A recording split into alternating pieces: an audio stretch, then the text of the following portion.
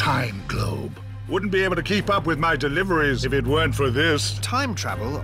Amazing. Can I see? A very delicate thing, the fabric of time. Santa, why are you telling me all of this? Because you remind me of the elf that invented this. Merry Christmas! I want to know how a man that big gets around the world in one night. When trouble arrives at the North Pole, Chris Kringle. Can I call you Chris? Bernard D. Elf will be the only one who can save Santa. no pants! Saving Santa will be the ultimate holiday rush.